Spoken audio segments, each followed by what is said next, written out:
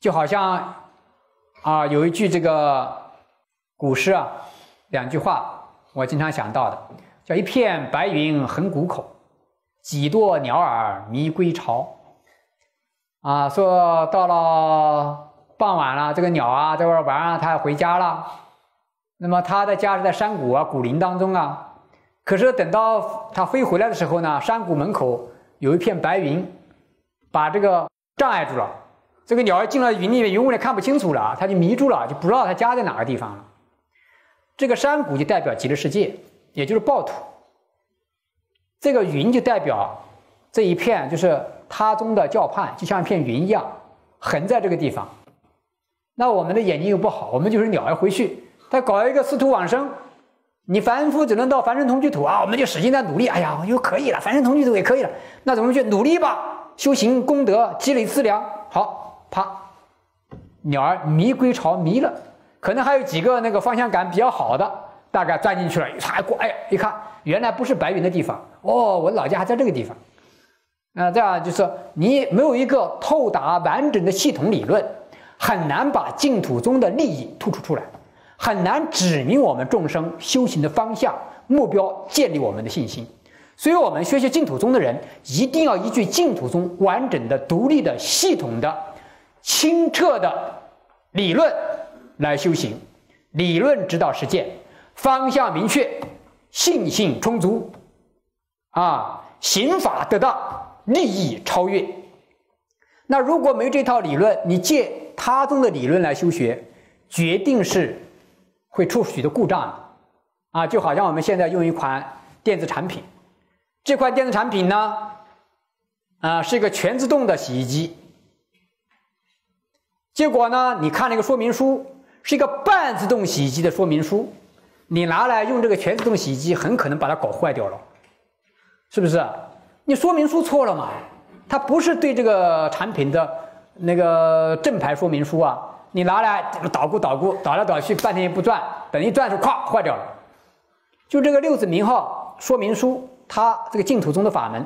善导大师站在阿弥陀佛本愿的立场上做他完全的开显，它是个正版的说明书。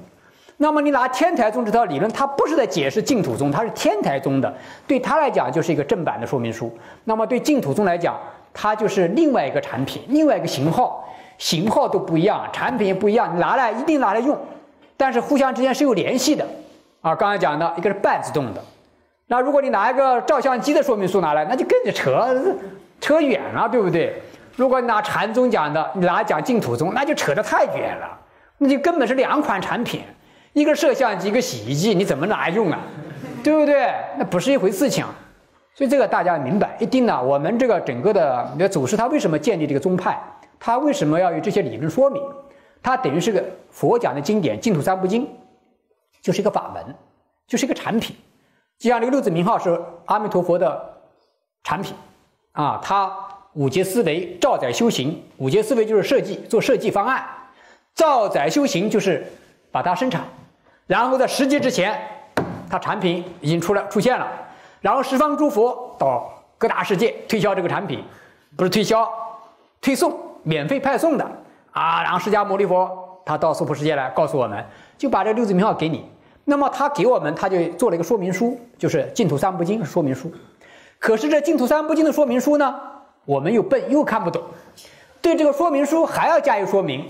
那么天台宗的人也加以说明，华严宗的加以说明，但是他们所说明的都站在天台、华严三论这些立场上，而善导大师是站在阿弥陀佛本愿这个立场上是不一样的。所以善导大师他这种解释呢，就是完整透彻。啊，我们这倒没说那个好像感情偏好。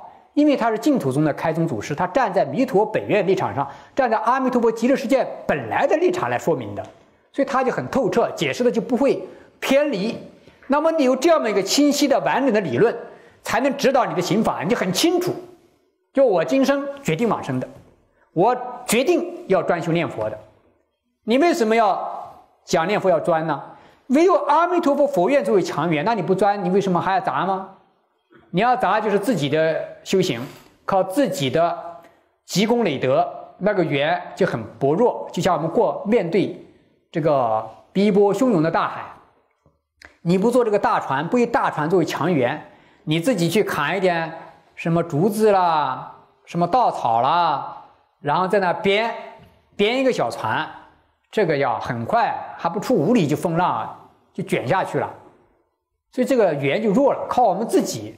所以随缘杂善恐难生啊，我们自己随缘杂善这种小缘，没有力量渡过生死大海，生死海阔啊，生死海深。